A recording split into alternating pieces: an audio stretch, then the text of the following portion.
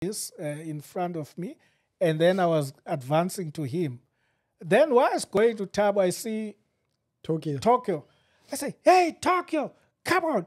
You are making everybody wealthy. You are leaving me poor there in Nelson Mandela, in Port Elizabeth. Bah, bah, bah. And then I attack him. Talk, wow, wow, wow. Hey, Kusel, Yuba, Yuba, Yuba Kusel. and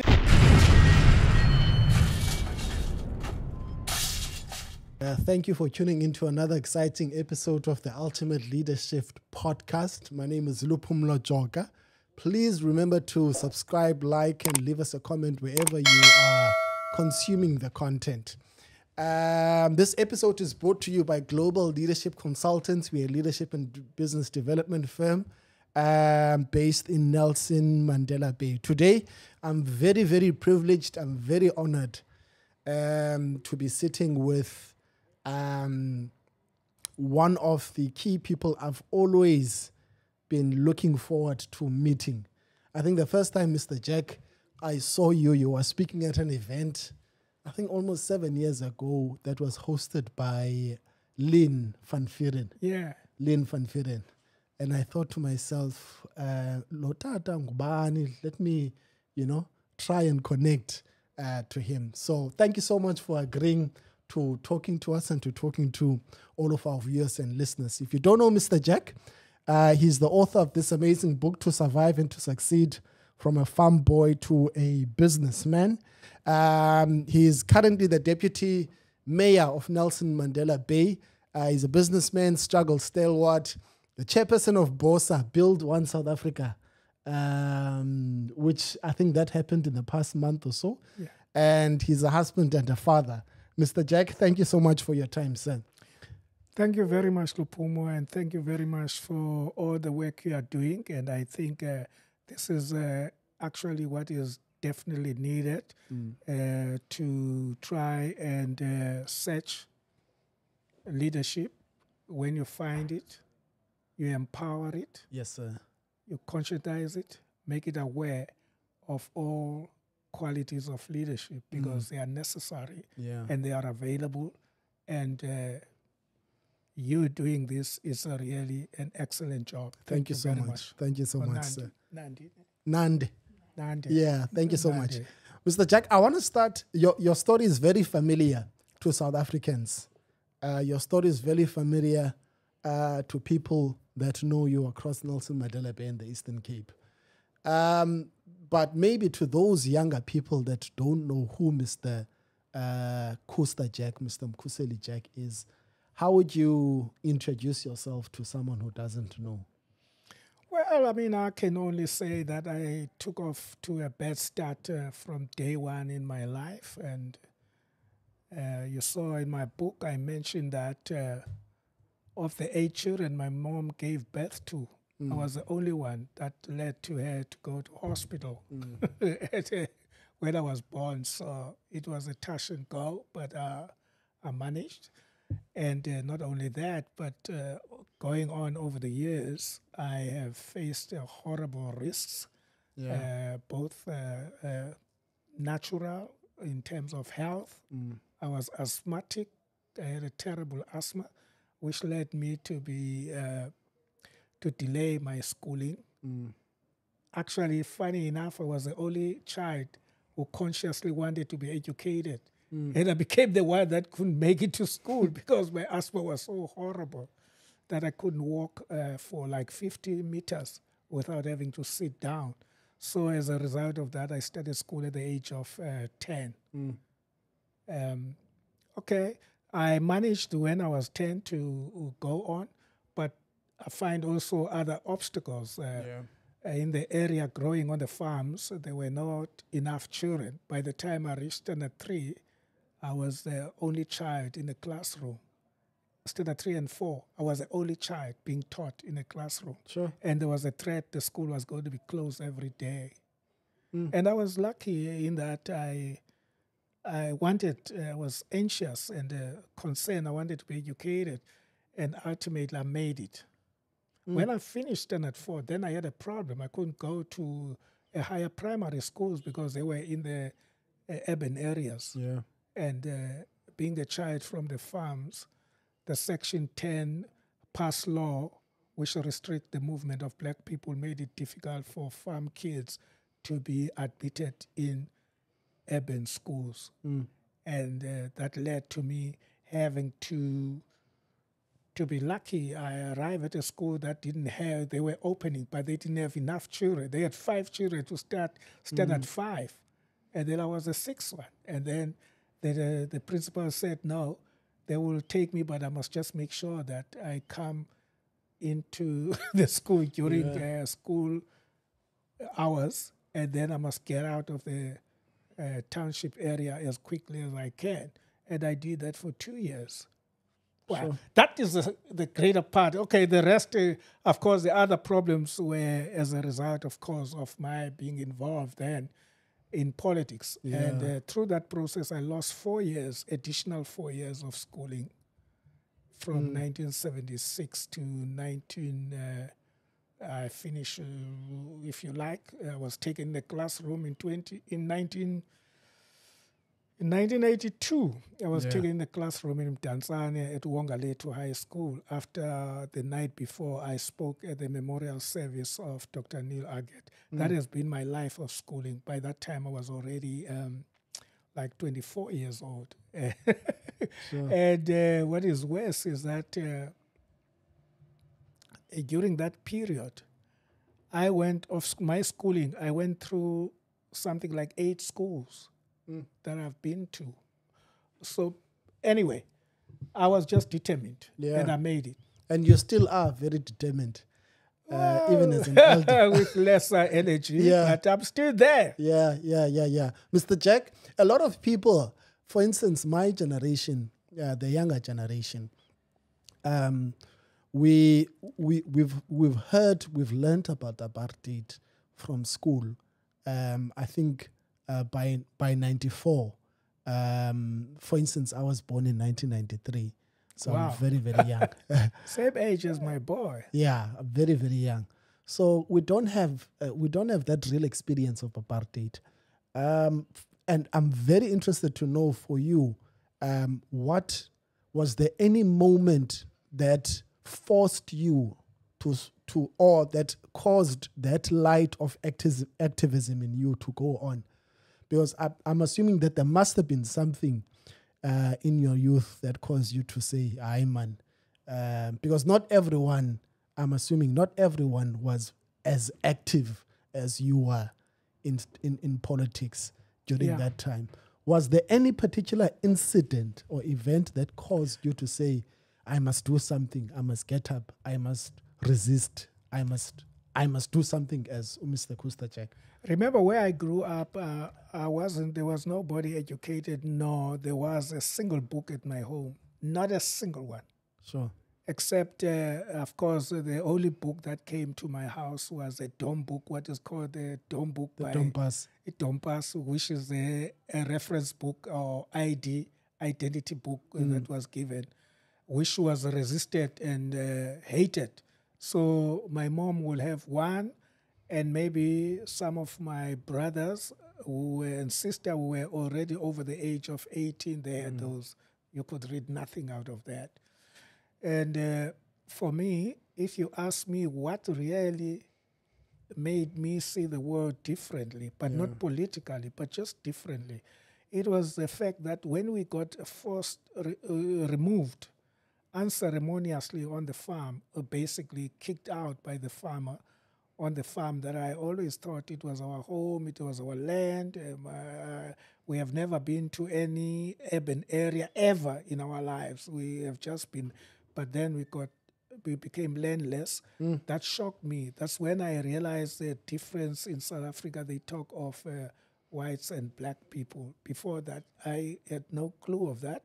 And even so, but uh, what happened with me was that to believe that in me, from that moment at the age of six, that's when the sense of natural justice came into me without being At the age of six. Yes, because Sure. that's the time when I saw this sad story, eh, which I write about in the Mm. book, how we got uh, put on the truck, uh, not a truck, uh, I mean a uh, what you call it, uh, ox wagon, with all our possessions, sharing it with pigs, chicken, and everything, you know. And uh, that occurred to me that th- this was something, there was something totally wrong that shouldn't have happened to us as human mm. beings. And from that moment, I had that. But even then, I had no clue about what is called politics or resistance or anything. This is back in 1961 or 63. So my family, I don't know, I haven't read, I haven't heard about anything. So I, that went on actually up until I was uh, basically at uh, high school when I arrived in, in Port Elizabeth to look for a school. When I had, uh, if you ask what drew me to politics, then uh, effectively it was not by design. It wasn't something that I wanted to go into. I knew that there were, things were bad and so on, but I've never heard about the ANC or PAC or any organization.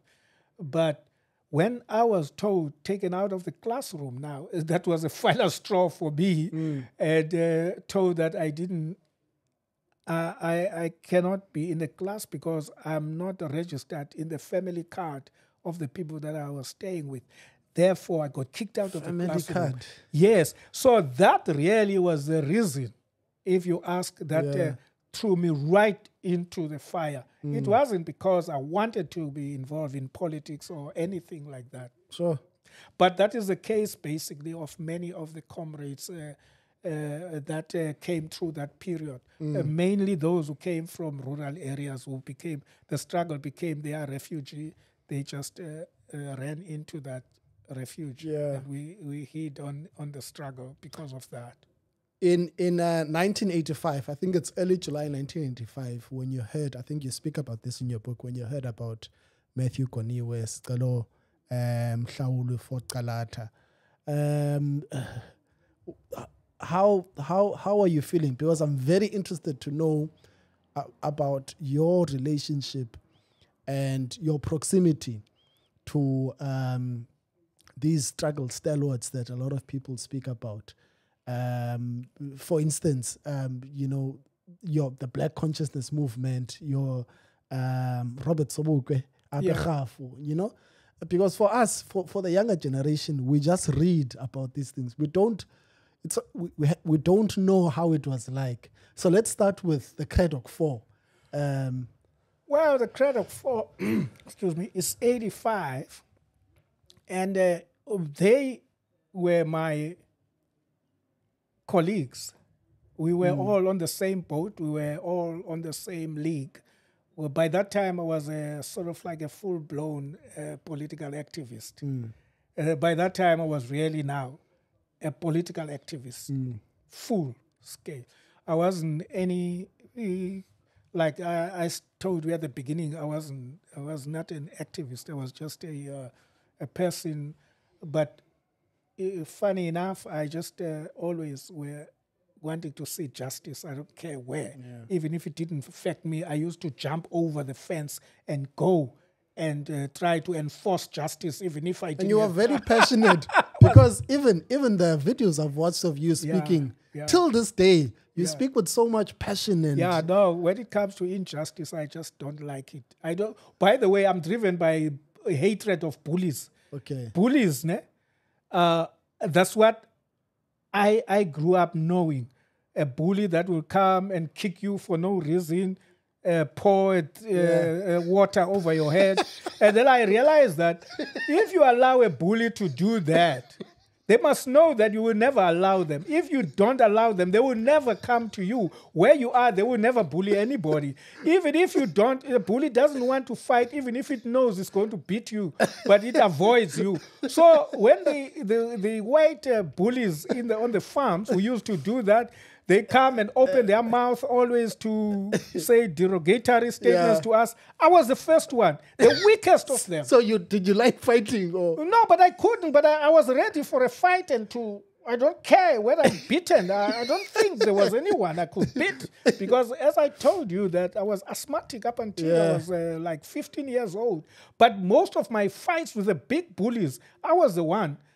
Big you would boys. I start mean, the fight? yeah, well, it was always going to be a fight. we go to a shop in those days, they're written whites this side, non-whites. I will, I will say volunteer, let me go and run and run. They know that they say, no, because you're going to bring us trouble when Yeah. you come back. I no, no, please, man, I, I want to go. I want to.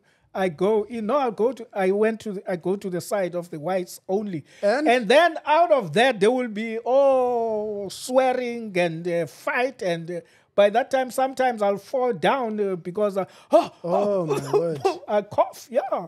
But anyway, going back to the Cradock Four incidental, like I say, I mean, uh, uh, Fort Calata, Matthew Goni was a bit older than us. Uh, Fort was a year older than me. Those are the two that I know of them. And the rest of the other activists from Cradock, I knew them because Cradock at that time was a, a center that emanated from the student boycott that happened in 1984, leading to the arrest of uh, Mbulelo Goniwe, uh, Matthew Goniwe, Madoda Jacobs, and Fort Calata and others. So I think that four went to was kept in Pollsmoor prison in that in that side in the Western Cape for nearly the whole year because of the government wanted to force uh, Matthew to be moved away from the Cradock area as a way of neutralizing him coming out of prison where he was sentenced for his uh, activities, uh, as was alleged then, of uh, furthering the aims of communism, etc. So out of that, he came back to work in Cradock. So they they were good friends of mine, especially Fort was more closer to me because uh, we, the two of us, uh, we were sort of like the same age. But he was already a teacher, by the way. He was already married, by the way, at the time. And uh, I remember the two of us staying in Johannesburg in one of the homes of the uh, of the white activists Yes, yes, yes. left You it. speak And then we had this big house, the two. We used to say, Oh, we hope the day doesn't go, the hours must stop. We want to stop the clock so that because we never had such a good time living with the, all the kind of food that Yeah. was there and the water and uh, oh, it was that kind of thing. Wow. Yeah, but unfortunately, of course, uh, this incident happened uh, uh, the, in June of that year, and uh, uh, like I say, we were in Johannesburg in April, and the two of us were given this big flat to stay in, and then we we went to the conference or whatever congress or that was Yeah. available with all the activists we go there during the day. Uh, after that, we saw each other once or twice, and then on the time of their murder, uh, I didn't uh, meet with them that time because I had other engagements, and they were going to meet other comrades, and that's when it happened. What happened? Now the the security police, uh, I understand, they trailed them from Cradock. They were aware that they were coming to Port Elizabeth, and uh, they, of course, they plotted the idea that they were going to kill them. Uh, that emanated from a meeting of Stratcom, of uh, PW Botha and his military and security men, and they said that uh, the Cradock Four must be uh, taken out. Yeah. And has there any been has there has there been any, any justice for them since? That is what uh, his son uh, Lukhanyo, Lukhanyo, Lukhanyo Calata is busy with at the Okay. moment. Since 1985. Yeah. My word. And your relationship with um, the Pan Africanist Congress, uh, Robert Sobukwe, uh, did you have any, you know, tangible in person relationship with him? or- No, I, I, I didn't, I didn't meet uh, Robert Mangaliso Sobukwe. Uh, I just knew about him. Now, as I was reading later on, remember he died on and around 1978. uh, so we knew his story uh, properly. So you, he was a bit before your time. Robert Sobukwe was a, a youth leader that led the Pan Africanist Congress and uh, its formation in 1958 uh, broke away from the ANC following the uh, the Congress of the People, uh, where the ANC declared that South Africa belongs to all who live in it, and the Pan Africanists uh, did not agree with that, and they broke away with. Uh, uh, uh, Rob Mangaliso Sobukwe who was well known in those days, was one of the uh, shining stars of the liberation movement in, on the side of the ANC. So uh, on he, when the the security police were arresting people, he was arrested and kept in prison in detention for more than five years under what they call Sobukwe clause. Yeah. And then thereafter they banned him, banished him, and then unfortunately he he died on and around 1978 in February. So, excuse me, because he was a hero, and we still have the anger of the death of uh, Steve Biko in 1977, and a whole host of other activists like uh, uh, Mohapi Mopeka, uh, Joseph Mguli, and many others that have already been dying in detention. So we were just outraged by the death of Robert Sobukwe. I never met him. Mm. And you, you just spoke about uh, Steve Biko because I just saw spic- pictures online. I think uh, of you uh, with I think it was his son uh, With his sons, recently yeah. uh, in Ginsberg. Um, have you ever met Steve Biko? No, I've never met Steve Biko. And uh, actually, Steve Biko, I didn't know his name before he died. Really? Until, yeah. I've never heard about him. Yeah. That's very odd. yeah, it was. He- and uh, we, but we took up the fight for him as if we knew him. That's how things were at the time. It wasn't Yeah. a question of ideological or organizational. We were united, man. We are great people, uh, Lupo. So how did you come across this material then? Uh, No, we were reading about it. No, when Steve Biko died, then all of a sudden, we, me, I went back because remember Steve Biko and them at the time they were not working the way we worked later on Okay. of public platforms and big rallies and all that. They were They, underground. you know, yeah, because remember they they were the first one to to mobilize after 1961. They threw the Black Consciousness movement with the mm. student movement like SASO, which was a, a radical organization, and the state suppressed them so badly. So, what uh, with the people that I knew who were his uh, contemporaries are people like Barney Pityana, who incidentally I was lucky. He was staying close to where I'm staying, the same uh, area where I was staying, sort of street. And uh, and I through that I happen to know quite a few of the Black consciousness leaders. But uh, Steve Biko by 1977, I haven't met him. But ever since then, I I work hard with the people that were as a junior uh, sort of uh, runner when we were preparing the funeral of Steve Biko. And um, oh, so you were part of preparing. Yes, just for the no the buses for, Oh, for people here, getting people and the rallies and all those Oh, things. yes. I was part of that, but as a as a very very junior activist. Mm. Uh, the sad thing is that I never made it to the funeral. Okay, and uh, uh, uh, because the last bus that we organized, we couldn't collect sufficient people, nor get the money. Then I was left behind because Oh I was.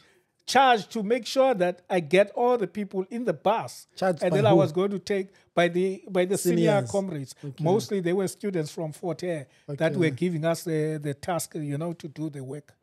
Oh, that's not nice. no, I miss yeah, I miss it. That's so so uh, over the years, of course, then I, I I befriended the family. I paid particular attention to them, and uh, I am uh, in good uh, friendship with all of them on a personal note. All the uh, the sons and uh, of that family and the, everybody, the members of that family. Yeah, that's amazing. That's amazing. So, um, I, I, I, I want to look at AIM.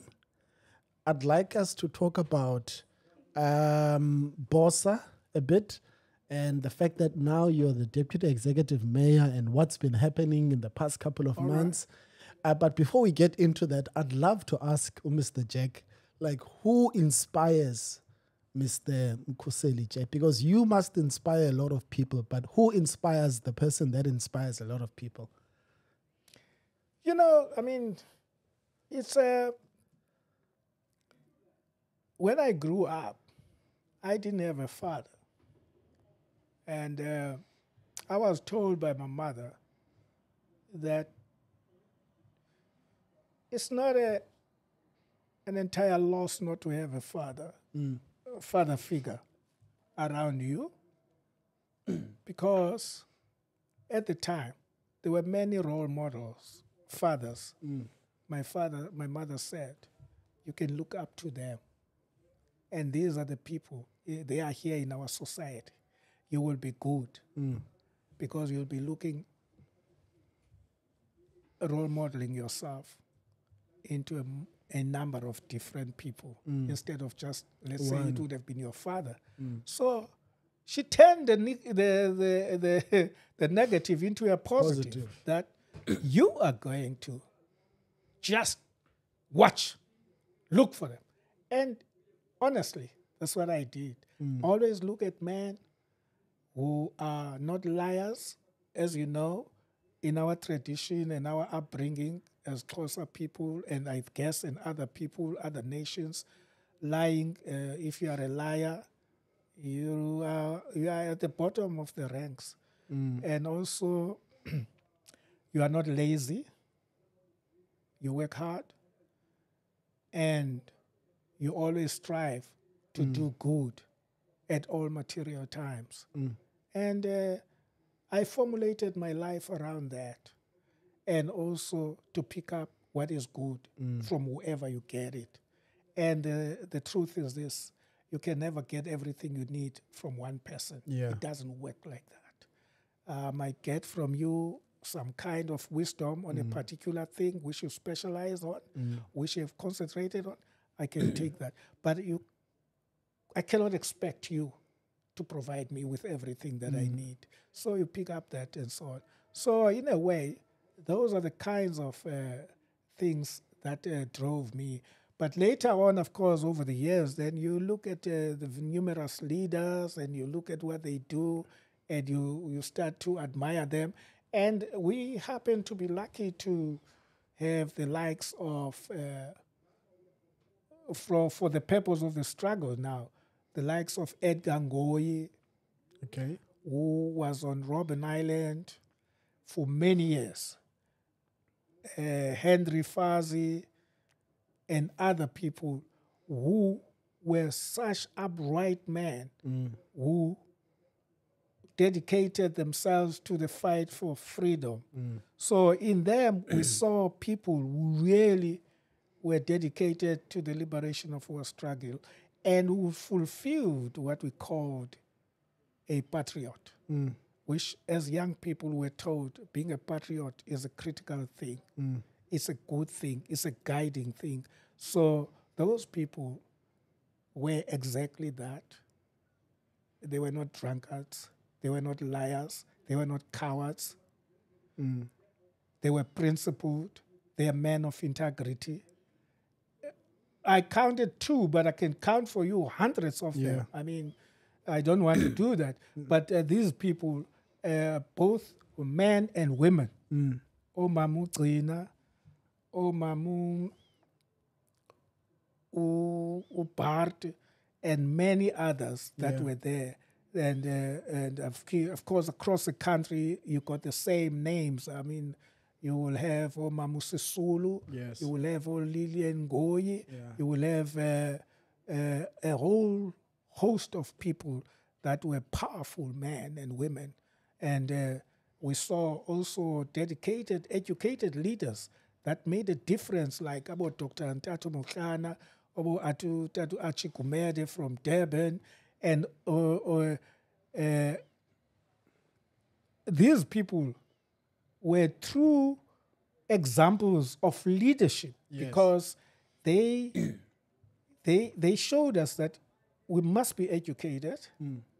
We must educate ourselves on the matters that we want to deal with, mm. and also we could be radical. Mm. Being radical doesn't mean you must be rude. You must be reckless. You must just be understanding that you are leading people, and if you lead people, you must first of all you yourself shape up and mm. behave in a way that Is worthy. worthy of you being called a leader. Yeah. Um, I want to fast forward to AIM, Abantu Integrity Movement. Um, I think many people around the city were very excited to hear you throw your hat in the ring when you start started forming uh, Abantu Integrity Movement. Um, and then I think you guys got one seat, if I'm not Yeah. mistaken. Um, and I think a lot of people were a bit disappointed that you only got one seat, you know, after what appeared to be such a successful campaign. I mean, you were saying the right things.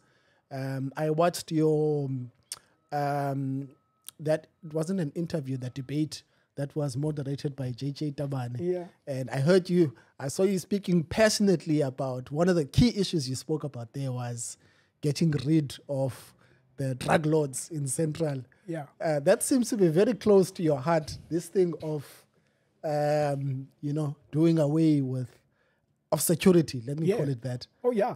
Look, I mean, yesterday on Saturday, I was uh, a speaker at the funeral of that young girl, Zenizole Vena, who died. Uh, Motherwell. Motherwell. And uh, Oh. drugs were involved in that. And uh, The one who was uh, yes, raped and yes, went. I was a speaker there. Oish. So, and I've just spoken now to the MMC for health and warning the criminals everywhere. And uh, I am setting a date now, which I'm going to go and give them a friendly warning that they must back off. And uh, we are just waiting to get all the directorates, and uh, with the mayor, we will, we are going to embark on that. We not uh, uh, the police. We are going to ask the police who are doing that job, but the police will do their job when they see the commitment in the leadership Yes. of uncompromising to crime. Once we show that as leaders that we we are seeking no favors and we want no approval from criminal related uh, thugs, then society is going to swing behind us and the police will do their job easy. The thing is now, because the, the criminals have been um, enmeshed, they are mixed up with uh, political leaders sometimes. yeah. And that is where the Most problem times. is. Yes. And that is why the criminals are making such progress. Now we are going to unravel that. You will see before the end of this week, that is what's going to happen.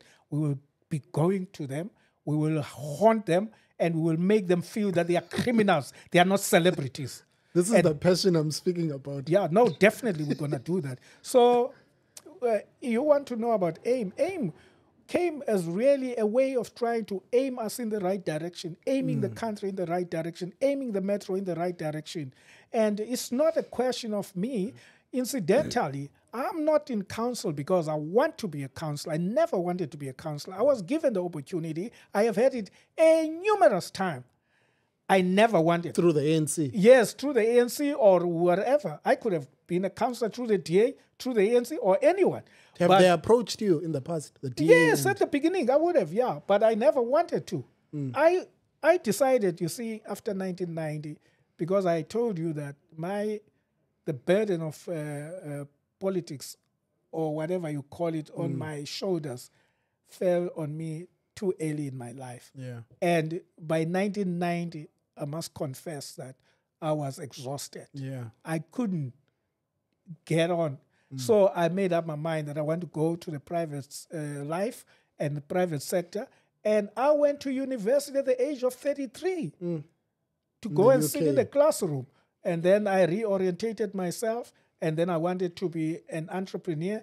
I wanted to be a, a middle class of South Africa, uh, which I deserve. Each and every South African deserve must be a middle class. Yeah. Okay, I wanted to be a solid middle class so that we all can be the middle class that the struggle was all about. Middle class means that you enjoy all the things that your country has. You are not. Uh, you got good hospitals. You got good schools. You got. Uh, uh, uh, you take your holidays where you want them. You do everything that you want. You send your kids to the school of your choice. All those things. You get a job, and so so that's what I wanted. But okay, so now last year, I spoke to my friends. I said, I am worried about what's going on now. And I said, listen, I still have a voice. It doesn't matter whether the people listen to me or not.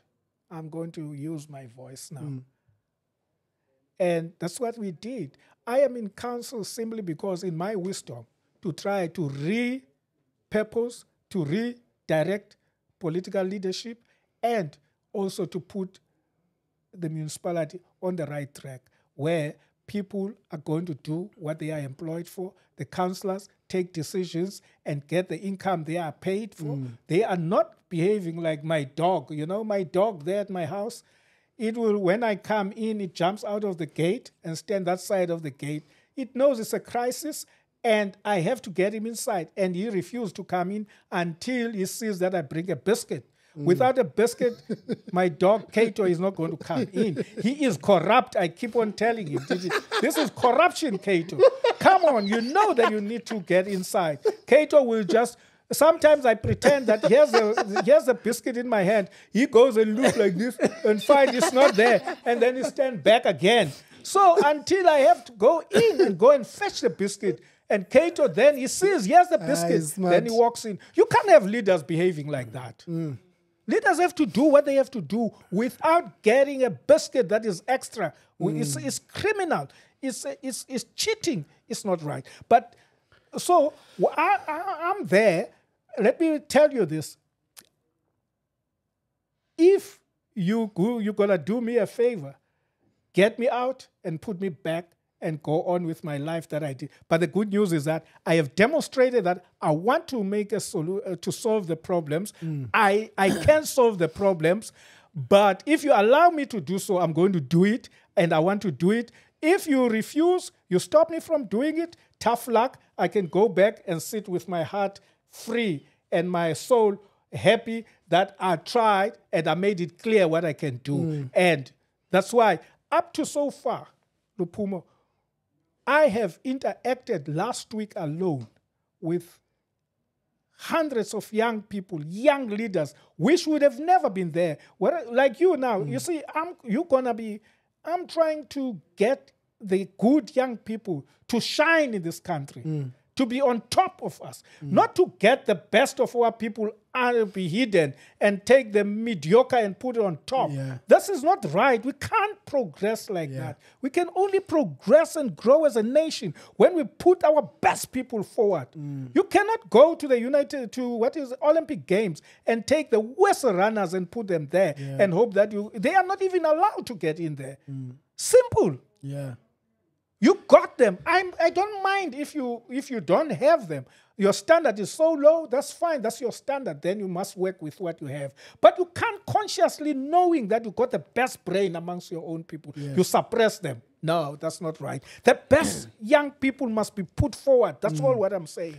Uh, uh, I, I want to take you two two steps back, Mr. Jack, because I've heard you speaking about this vision of a South Africa of a people that are in the middle class that can enjoy everything, that can fly around the world, you know, when they wish. Um, but I've often wondered about the practicality of that. How do you get South Africa uh, there? You know, Listen, we were on we were we were on the road there. Okay? Listen, the detractors who destroyed everything, they are the own noi- the only noise makers that are talking nonsense and telling us that no, this was not possible. Listen here, during Mandela's time, South Africa was Mandela got uh, a South Africa that was broken because of the economic sanctions and the Yes. political mismanagement of the apartheid government. Yeah. Uh, uh, what happened? They they plowed their resources into trying to prop up apartheid, and they did not develop. So they started to run short of money because of that. Then, so when we came in, we came in with a correct vision, and the world believed us, and we started to take off quickly and well. Uh, and you must remember at the time we were integrating uh, the nine puppet states that were created by the apartheid government yeah. Transkei, Ciskei, Bophuthatswana, Gazankulu, Yeah. etc., etc. All those things were self-governing, some of them so-called independent. Mm. They were running their own little things there. So there was no development in those countries. So when Mandela came, they united the country, as we said during the struggle, that we were fighting for a democratic, united, and non racial South Africa. So we were on path. Mandela was focusing on that. And uh, he was doing a good job. And then uh, when he, Thabo Mbeki came in, Thabo Mbeki then came with an economic plan that was going to take us forward. There was a policy called the uh, uh, Reconstruction and Development Program (RDP), Yes. which was meant to to to meet uh, all the uh, the backlogs that were there and to fix the inequality and to provide our people with all the necessary uh, services and facilities they didn't have before. And um, this was, of course, a, a program that needs funding to do it. And then what happened as time goes, they realized that now the RDP was good in telling us what we must have and wanting what we ought to have, but it was weak on income or revenue generation to meet the obligation that we wanted. And then they came with a new policy. That policy was called, I think, GEAR. Yes. Uh, that growth uh, uh, uh, policy was meant to grow the economy, to focus on growing the economy. And growing the economy would have meant that you are going to generate more revenue for the country so that you are able to fund your RDP program, whether you call it RDP or you don't. But those things you want to do good schools, good hospitals, good roads, electricity for everyone, water, etc., etc., has to be funded. No, other people saw came up with a, a, a, a, obsolete, uh, obsolete uh, uh, uh, policies uh, or uh, like of uh, uh, ideologies. They were uh, hell bent on that. They resisted that program. They never allowed it to take its place when we are attracting investors, when we are attracting people, and the growth in real terms was uh, hitting something like 5% at the time, which were moving. We were going to go to the levels seen in China because of like 10 or 12. We would have met them. But midway, they played on the ignorance of our people by spreading the idea that this was new liberal policies, etc., etc. And then in return, they put themselves in. But what they put in were people who came in. Not only did they even attempt to bring the communism they wanted to bring, they brought a criminal mafia state mm. that just stole everything. As you know now, uh, the railways are down. The railways used to employ thousands and thousands of people. They are on the verge of uh, just uh, scrapping for money to survive as we speak now.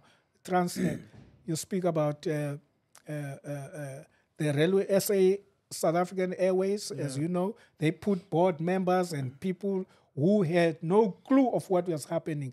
They in Eskom, they did the same thing. That is why today you got uh, uh, this load shedding. is precisely because of those people who fought against a policy that was a policy that was going over a period. They didn't allow it to go for 10 years. Had they allowed that, then the, the, the, the result of that economic growth would have filtered to everybody and created a country that was growing. Now, we are a country that has been shrinking ever since they took over with their uh, kind of a version of economics. you, you know, my last question on this issue, because I'd love to get into uh, Mr. Jack, the businessman, and hear more about some of your um, views on entrepreneurship and what advice you can give young people who aspire to be like you.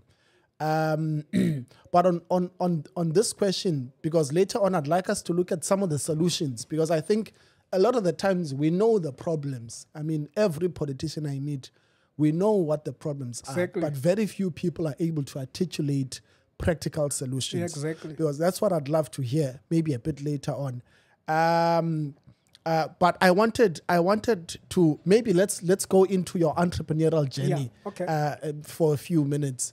Um, I tried to look up Mr. Jack what your businesses are, and I saw something on construction, and you know, um, how how has your business journey been for the past three decades?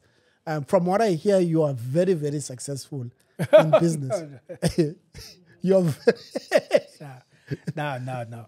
In uh, in business, success is current. okay, Uh, I can tell you I'm successful now, but but tomorrow, within seconds, I could be broke and uh, worse, poorer than the church mouse. so, uh, look, uh, look, here's the thing. I got in, when personally, when I got into business, I wasn't thinking about being a mega businessman. I got into business hoping that I'm just going to have an income, to just uh, as I would have had when I was uh, working for somebody. So basically, you also this is a thing you young people don't understand. You must remember this thing. ne? Any person from my group who tells you that he knew that we will be in government in 1994 talks nonsense okay, absolute nonsense. Anyone of us who says to you, we had a plan how we are going to govern, talks nonsense. We didn't plan the actual nitty gritties of governance. We had the principle of mm. liberation that we have to be liberated, but during because of the enemy that we are fighting, we have budgeted that we were just going through motions of weakening the government mm. to be defeated by coming generations, mm. not by us. So we didn't have a plan for how, in practical terms, we will run the economy. But we had an idea of hating an economic system that was exploitative, that was capitalistic, that was uh, uh, uh, uh, uh, our, our, our minerals and taking them to other places. So we were of the view that those kinds of things will be stopped. As you hear in the Freedom Charter, we were going along those lines. That's the South Africa, we in the broad terms. But given the fact that we were not during the struggle sitting in jail or fighting around saying that, okay, once we come into power, uh, let's say in 1994, we will get into power, what we will do, we'll do this and that and that. We knew that the police will be humane, we, they will be protecting our people, the army will defend our country, and all those things. Then, I'm saying this because people don't understand how some of us have changed drastically to the worse after freedom. None of us ever thought of ever uh, being owning a big company, etc., etc. But what we thought, by the way, we did not like business at the time. Eh? By 1990, still we didn't like business generally. We because of our experience of white South Africa's business at the time in its treatment of black people on race and general economic just exploitation at the labor uh, uh, front. So, for that reason, we had a, a negative view against uh, uh, uh, businesses. But so I got into business. I had the idea that in business, I'm going to just go and float nicely and have everything because I've seen my white friends or people that are doing business. I thought for me, oh, it's just to get in. but to my horror, my first two businesses were a disaster. They mm. failed before they could even give me a cent. Which businesses were those? No, I, first I started by uh, trying to build the RDP houses because we were told that so many houses. So I ran into that too and started. Wow, what a disaster! What a so the uh, then the the government, the ANC, has not at the time planned thoroughly how this thing was going to be done. They were planning as we go. yabo. But fortunately, they were trying at the time. They were not stealing the money. They were doing the right things. But it was tough. So for you, you, I dropped my job where I was working, having a salary, good job, for something that I was hoping I'm going to get money from. And then I ended up not getting the job, not taking up because there was so many bureaucratic new things and so on. And months are going, 12 months is a lot for a person. Remember, you need Yeah, only yeah, three months and then you know you are in big trouble. Mm. So uh, there was those failures and so. So what I did, given that um, uh, at the time I have just returned from university and uh, I was a uh, I did uh, some statistics or research things. I'm an economist. I studied economy and development studies, so I could uh, uh, guide uh, people uh, and make money out of consultancy. Okay. So surviving from that, from hand to mouth, it was risky. And then I started to to buy trucks, and then they went bust. It was bad news. I was What year was that when you bought trucks? 1998, 97, 98. Yeah. And, uh, you know, it was just one disaster after the other. And, uh, but all what I'm saying, Mm. a young person who goes into business must just go there knowing that it's a rough world, Yes, yes. but it's a rewarding world. It takes time. It's not easy. You're not going to get things as the way you want. Yeah. People who you thought are your friends are got ready things to help you, they will turn and look at the other side. Because obvious you can't blame them. They Mm. Don't trust you. You haven't done this thing. So why would they disappoint their clients with you? So there are those things. And the other thing is this that, yeah, you got to be uh, when you do business, you must just be sure that you are determined Mm-hmm. and you are honest. Tell the people when they come and do work for you that I don't have the money to pay you now. I'm expecting to be paid by so and so. So and so, if he pays me, I'm going to pay you.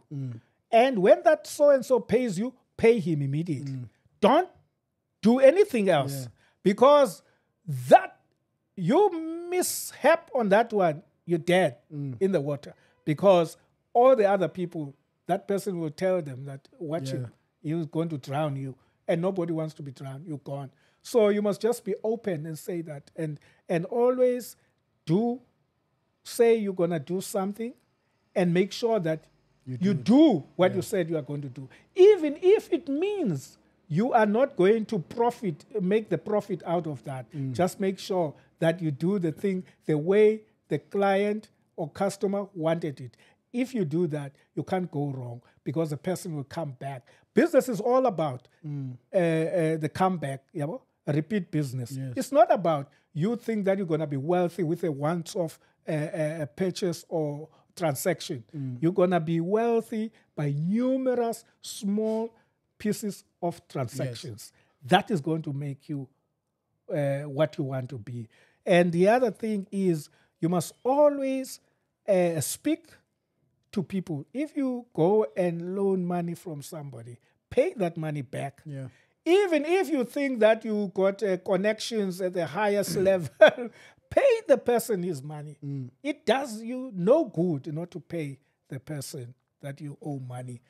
And um, you must also uh, always encourage people who can do the job. You don't have to do it as an entrepreneur. You don't have to do it yourself. It's not your job. Go and get people who can do the job properly Mm. and pay for it if you can, mm. because you're going to look good, not the person you employed. It's your company that will go forward. Yeah. And um, so, and if you are a young person, read mm. about entrepreneurs that have made it from nothing, like you. Because if, for example, you go and read about the story of uh, Oppenheimer's son or Rupert's son, it doesn't help you to be jealous about that. Mm. Actually, it's foolish to be jealous and be resentful about people who have made it. If, by the way, the Oppenheimers here, they came with like 26, 26 pounds here mm. on and around 1901 or 1906, the first one to arrive here. Mm. That's all he had, okay, with a suitcase. Today, look what they have. So, success has nothing to do with the fact that, oh, look what he is, but look the behavior of the successful person. Whether he's a murderer, whether he's a thief, whether he's a politician, whether he's a what. Hmm. All that's, of them. That's a very hard saying, Mr. Jack. That's a very hard saying. Yes. Because these people are I mean their success is from it's it's it's from it's it's built out of the, the ingredients of, of, success are the same patience, honesty, hard work. Your word must be your word. You can't be saying this and people you think and you think you will succeed. You will never succeed. You must be focused. And so people must read about people of similar background. In Yes. the books that you see, you'll find people that uh, uh, this suits you. For example, I like a guy called Alan Sugar. Alan Sugar read the, I mean, uh, was the chairman of the Tottenham Hotspurs. That's how he was known by many people. But his story is a typical story for a township person who comes from a family that has no business. Okay? Because I was just about to say, because we don't relate to Oppenheimers and No, you our can't. stories you are not the same. So and also, we? let's say you look at somebody like uh, Donald Trump. Donald Mm. Trump also is not a good example because he goes about trying to say that he's self-made. He's not self-made. His father gave him money Exactly, to make that. exactly. You gotta look for people who are like you. Who didn't have, who got parents who didn't have We money. want to look at started people from like you. nothing. yabo. Exactly. Then you that's how you role model yourself. Then if you do that, you're going to be patient. Mm. You're going to know what you want. You are not going to be in a hurry. You're not going to be easily distracted. You're going to go on. Now, uh, another example of a known uh, businessman is this uh, Richard Branson. Mm. Richard Branson's style, which will only work for him, it won't work for everybody else, is that he he pegged himself to the big birds, you know, and uh, he used them to to to get attention and build his entrepreneurship by fighting those uh, big bullies. Yes, it worked for him and he succeeded, but that's not going to be everybody cup of uh, what is it? Cup, of, tea. yeah. yeah. people got different ways. Yes. But your or, a- average person is a person that is going to say now, and that where that's where we are now. For example, you can't uh, uh, use uh, many of the uh, black mining uh, magnets that we have because they were given, many of them. Like Petrus Motsepe. Well, Patrice Motsepe is uh, half half because remember he, Patrice Motsepe, because I know his story, I cannot agree to that uh, narrative because I was told by bankers how Patrice Motsepe used to come to their offices and ask them to uh, to fund something. they say Patrice could come within one month with about five different projects that he wants to fund. So he's the a hard first one, yeah, the first one he failed. They said, "No, it will never work, Patrice." And Patrice says, "But why? Why would it work?" And they say, "No, because of this and that and that." And Patrice listens. He goes and rewrite propo- another proposal and come back and say, "Here's what I want to do." The beggar says there were times when they used to run and hide away because they don't want to listen Wow. to his that singer. But you see, because then he will come and adjust and improve and come up with something. And Resilience. yeah, that's that's the kind of thing that we want Yeah. because you you you don't want to uh, the people who, who, who- who succeed by fluke and you use them as role models to our children. Yeah. You're gonna hurt our children by that because they're gonna think all of a sudden they will be. So you're gonna get. But the rest of the others were just people who were just drawn Yeah. in, come in, join us, and then you do this, Yeah. and so on and so. Mr. Jack, we're running out of time and there are two or three You wanted more to issues. hear about BOSA. Uh, Yes, yes, because I, I still want to hear about that. But I, I one last thing on this entrepreneurship thing. So when was when did the breakthrough come for you personally? What happened when you thought, yeah, I now, you know, My I've arrived. came, if you call it a break, it's funny. I went down. I haven't since. Remember, I said that I wasn't active uh, in politics between 1990 and uh, up until, uh, if you like, now, uh, last year when I started to form AIM.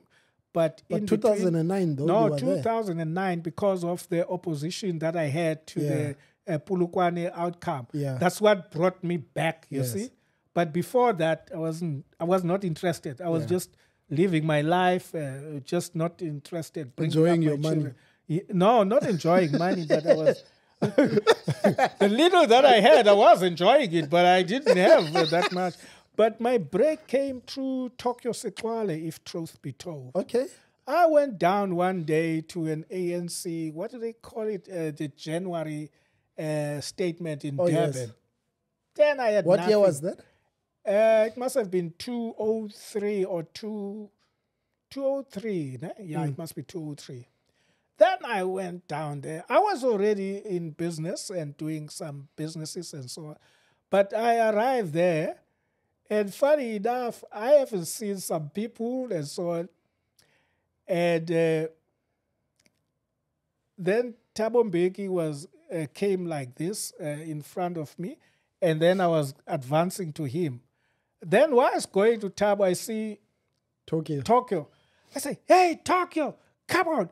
You are making everybody wealthy. You are leaving me poor there in Nelson Mandela in Port Elizabeth." Bah, bah, bah. And then I attack him back. Talk, wow, wow, wow! Hey, Kusel, Yuba, Yuba, Yuba Kusel. and really, and then of course, uh, out of that, Tokyo drew me into a deal with one of the uh, Oh, national nice. banks, and then that was, uh, I must say, Breakthrough. a little bit. Uh, yeah, Oh wow. It helped me. Oh wow. That's amazing. Yeah, That's amazing. Um, I I, I want to get into. You're currently executive mayor of Nelson Mandela Bay.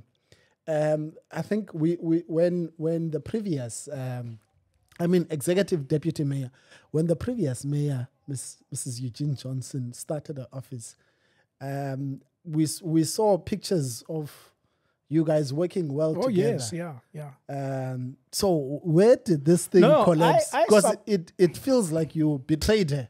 No, no, not at all, not at all. I supported her. I had nothing to do with what people were talking about uh, in terms of uh, uh, inexperience in governance and skill and uh, even academic and all the those things don't matter in uh, in politics. uh, really, they shouldn't. Competence doesn't matter. No, no, no. Remember, in leadership, what you, what you can do, you can get in there. No one is going to come in there with uh, perfect with all what is required. But what happened is your ability to use the people around you, and then you're going to be great. And I think Eugene started to do that because, first of all, Eugene came in, she was a clean person in terms of corruption and all that. And she got a good heart and she got a good idea. She was uh, also a progressive person generally. She and I know her. And when she came for the greater part of the time when we were helping her, she was like that. She is not. A, she was not a, um, a mean-minded person. She was a person who, who She was nice. no, not but pragmatic also. Uh, uh, just that she wasn't also an ideologue. But things. What do you mean by ideologue? no uh, like- Ideological. no, yeah, she wasn't like that. She was just a pragmatic that things must happen, and she was getting the full support of the mayoral committee, which is critical, and she was doing making progress. But the, when we had a a difference, our fight started in one day, and it was it. It was to do with the city manager, Okay. and then of course from there onward, The current acting that the one was that was uh, arrested charged, now. Yeah, arrested, yeah. Uh, that's so. The, the there, even there, what happened is that the, the ANC wanted to force its will upon the rest of us when we said that we don't want to appoint the the city manager Mm. For a whole host of reasons, and then the ANC took exception, or elements of the ANC, and from there onward, the whole thing was a a relationship collapse. it collapsed. And actually, funny enough, uh, the two people who are charged are at the center of the collapse of that whole thing Oh. the city manager and their secretary. Regional both of them, yeah, secretary. both of them.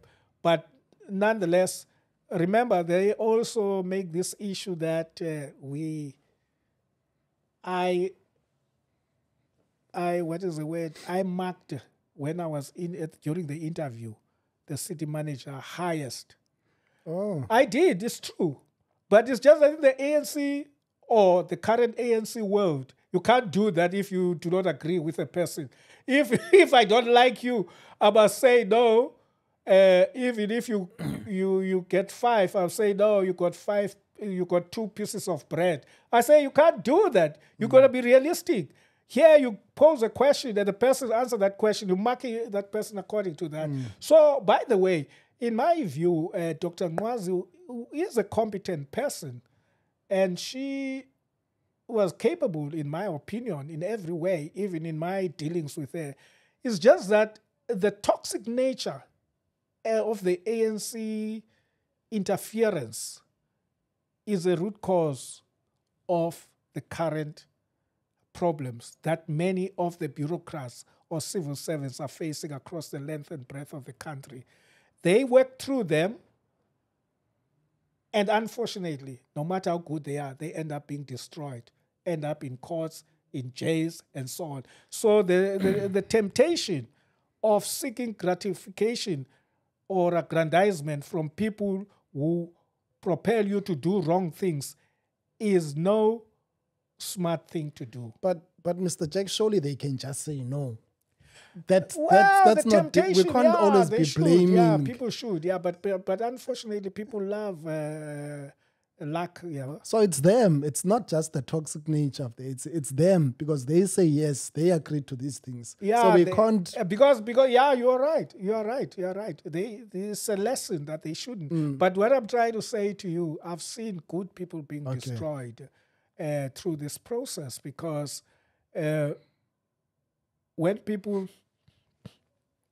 make you do something wrong, which you wouldn't do on your own, but because you want to hold on on the position, and because of the nature of the economy in this country, such that if you lose your job, you are not going to get it anywhere. So you could So just as well just hope that these people will protect you all the time, who made you in the first place to do the wrong things. Uh, so yeah, I think that uh, it's sad. And Eugene, on her own, then after that, she just got out of control, and we couldn't. I mean, I won't say many of the things that were so mm. drastically strange that were happening immediately as she got loose from us and got under the clutches of the city manager, and that was it. We couldn't mm. do anything. Let's. Uh, I supported her. There's no doubt up to that mm. point. There is nothing that can be shown that I never supported her. I supported her even when she was down, and anytime I was saying, Don't worry, let's go through as long as we do the right thing. The even people- during the yeah, during this thing time- of the water crisis and what she was saying on the radio and TV. Wha- yes, while she was still, we were still not having this problem. We were backing her, telling her, "Don't worry, you can make the mistake. There's nothing wrong. It's not the end of the world. We are all making mistakes. You are not a perfect. You mm. never came in and said you are a perfect person. So if you make a mistake about something, that's it. So let's go on. It's not the end of the world. Everybody can make a mistake. Let's let's look at BOSA. Um, I think many of us were very surprised when we saw you uh, ascend that stage in Soweto uh, as the chairperson of Build One South Africa Mmusi Maimane's movement. How did that conversation start? No, uh, remember, from. Uh, let me start by saying that, which a lot of you guys don't know. Do you know how many little organizations were formed before apartheid was between the period, let's say SASO period and the BPC, which were the first organizations that were formed in South Africa up till 1990? Hmm. Sure. A lot. Yeah, but just imagine by the time the UDF was formed in 1983, at least those who subscribed to the UDF were close to 800 Sure. little small organizations. Mm. So I work on the assumption that I know that you can, when you have little people knocking in mm. every corner of this house, ultimately you're going to bring it down. Okay. And the right. house, the house in that context is the ANC. Whatever, yes. Because as things stands now, the ANC, by its own admission, totally operating on sentiment and nostalgia. Nothing, no solution, nothing. Mm. They changed now the Eskom board. I mean, the issue Eskom board is a board, bro. A board sits there, it has to sit three, four times a year. Mm. That's a normal board. Okay, if it's abnormal, like that one is going to sit eight times. All right? if really it's ridiculous now, it becomes a, a money making thing, they will sit, I Once don't know, month. every month, Yeah. which is criminal, by the way. You can't do that. Mm. So those board members, there's nothing they're gonna bring. Like you were saying here, South Africa, there's nothing that the even the ANC that doesn't know what is good. ANC knows everything that is right mm. and what ought to be done. Mm. Their weakness is not able, is inability to do it. That's all. Ah, nothing else. So uh, to bring now a new board with the hope that the board is going to to make a difference is crazy, absolute crazy. At best, they can bring somebody. They it can work. Actually, they bring somebody amongst these people. They interview them and find the best one. They can put him in the job to do the job. There and, and replace, let's say, a rater if they feel like. But to bring a board, what is that board going to do? Like I tell you, the board is going to sit only for four months is i- i- normally. Mm. And then okay, but it's abnormal once a board starts to sit more than that four months. There's something wrong with that company. Mm. So you don't have to. What is it going to do? Now it's going to intervene there and go and fix the plants and all that. They It's going to that. provide strategic direction. What strategic direction? No, they need to get us electricity. Let's let's look at BOSA. Yeah. How did that happen? Well, BOSA, since uh, a few years ago, I've been thinking about uh, being part of a, a front, a national front. A national front will be an organization that you build from scratch with no political celebrities or known figures or burned out politicians, but you get fresh people. And then you look at organizations that have similar values in the same mode as a, the no the United Democratic Front was not strictly on on values that they must be the same. There, the only thing that we wanted from you is you believing that apartheid the must- mission. yeah, to to break apartheid down, to fight against apartheid. So we it brought them that way. But with a front like this one now, you are not going only to bring people who want to bring the ANC down, but you are going to look for people who have the same values mm. And um, and who, who got the same vision of the South Africa, a one South Africa. That's why we want to build one South Africa. As we said during the struggle days, a united, democratic, non racial South Africa, non sexist South Africa. That's what we wanted to build. And we want to pull people back to that. A South Africa that will be, uh, uh, say to it that there's equality for all people in the country, that will develop prosperity for everyone, that will make sure that there is houses and security for everyone and that there is comfort for every South African, and that there's no, the people are not uh, found themselves in a situation where uh, they cannot access education, they cannot have jobs. Hence, Mmusi Maimane is calling for BOSA to make sure that when it comes into power, it works towards making sure that as a first task to get a job in every home.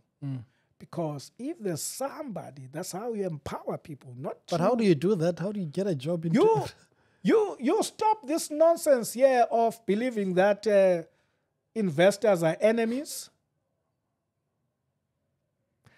As we speak now, companies around here are looking for new investment places where mm. they can take their various manufacturing factories to. That is going to spell disaster for us.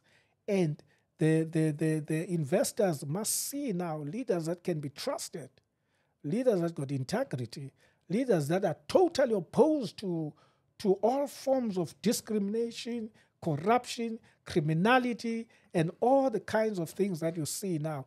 If you get that, then investors, incidentally, they want to be in South Africa. Mm. But the toxicity of our leadership here is pulling them out. They are prepared to go and sit in a conference with the president and pledge to the president every second time the president calls them, oh, I'll put a, trillion, I'll put a billion. They never come down to the ground. But we need to get people who trust, who trust mm. the leadership of the country. And with Mmusi pulling up now a new generation of young people, yeah, you're gonna see the kind of people that are drawn into this movement. Mm. This movement is going to be pulling all uh, uh, young South Africans who have a dream of being patriots, who love their country, who don't want their country to go down, who understand that if we build our country, then everything else will be good for us. Mm. We will not even be worried about the, uh, the, the, the, as people do now with foreigners and so on and so on. We will have total control and make sure that we, we keep our borders closed properly and people come into the country to contribute in the country, not to come here illegally and engage in illegal activities. Yeah. So we will have a total control. Through that, you will employ, you will restore numerous uh, uh, uh, things that used to work, which are job creation, like the railways. The railways were a mega job creator in this country. Mm. Actually, not even far away. I was surprised when they were building trains far away this Utnik was built on the back of the railway mm. line in this country, mm. railway system. Yeah, yeah. Thank you for your time, Mr. We, unfortunately, all of some of the things I wanted to get into, we can't get into because of time. Because I was going to ask a follow up question about the you policy. Can. You can, and then you. The policy of BOSA. What are some of the, maybe um, as a final question, um, surely, I mean, we we've we, we know Mmusi Maimane through the DA, through the One South Africa movement, which wasn't really a political party, but in the DA, the DA spoke um, against BEE, you know. So ideologically, I know that you've been saying you're not.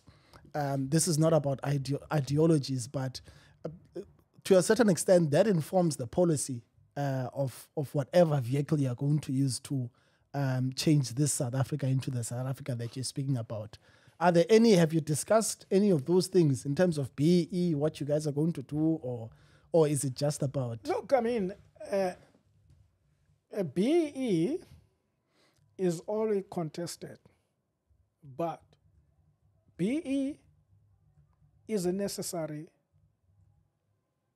uh, imperative of South Africa. The the talk about BEE, negative talk, it has been the way it has been applied. Okay. I mean, if you look the the foolishness that has been done, you put a priest to run, let's say Eskom, for example. You can't do that. That's not the job of a priest. You need to get an engineer with experience to run Eskom. Okay? I might be making a too much of yeah. an unnecessary uh, example. Okay, let's say a. Uh, but I think it, we get the a point. traffic cop, uh, not even that is still a the priest. same. Let's say a teacher. Let's say. Uh, but that's what the ANC does. Let's say the carpenter. Let's say cadre deployment. Yeah, yeah. So yes, that is where the problem is. Yeah. We cadre de- de- deployment must be dealt with. It's wrong. It's destructive. It is a cause of the destruction of SAA Transnet, Denel, everything that we had. Uh, remember, Eskom was amongst the top SOEs in the world, my brother. I didn't know that. Yes, it was. It was. And the most, not only being top, but the most well run. How do you Was go and kick out? How do you go and kick those people when you don't have people to replace them with? They are not our cadres. Eh? They are not Yes, that's kid- a mistake they did. You don't do that. What you do, personally, every business that I have bought, I've never got in there and fired the people. Mm. Never. I keep it and I tell the people, listen, let's build this business for my vision. I Mm. want to get black people here to participate, to grow, and to be in bigger numbers. But first of all, let's make the business viable to achieve that goal. What is the point of hollowing a business and then you bring black people into it? It's crazy. Don't believe in that nonsense. In practical time, I mean, I, I got a business here we bought uh, many years ago with some people. Uh, when we bought it, it had about uh, eight white people. It was not a single black person. And then these white people on the night we bought it, they were so worried. They said, Oh, Mr. Jack, what's going to happen to us? I say, Listen, you got, I don't, what are you talking about? I want you to return, I want my money back that we, Yeah. we went to get a big loan for this thing. It must be paid. I want you to do the job. Just go and concentrate on that. Leave me alone. Eh? And he said, Are you not going to replace? Black people will come in a functioning and viable, financially viable business. And that business today is so huge. And there's so many uh, uh, black people there fitting like a glove. Just like, you know, like the Springbok, by the way. If you look at the Springbok, had you listened to some of the people who were trying to jump and uh, because they want people want to see the end result with no effort. No, there's no such thing. When we we integrated, obviously we had a lot of problems.